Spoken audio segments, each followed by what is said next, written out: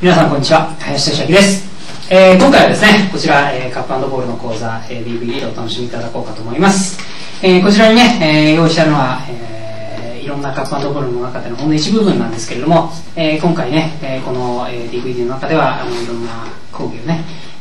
さまざまなその用途別に、えーどうやって使ったらいいのかというようなところをですね、えー中心にしながら、えー講義を進めていこうかなと思います。はい。まあ、あの、とりあえずね、えーいろいろ説明するのも見ていただく方が早いと思います。